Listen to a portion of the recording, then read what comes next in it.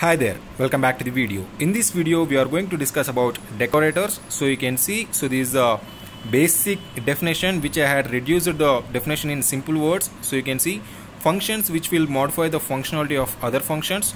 By using decorators, we can short our code and I had created one simple example. We'll see it.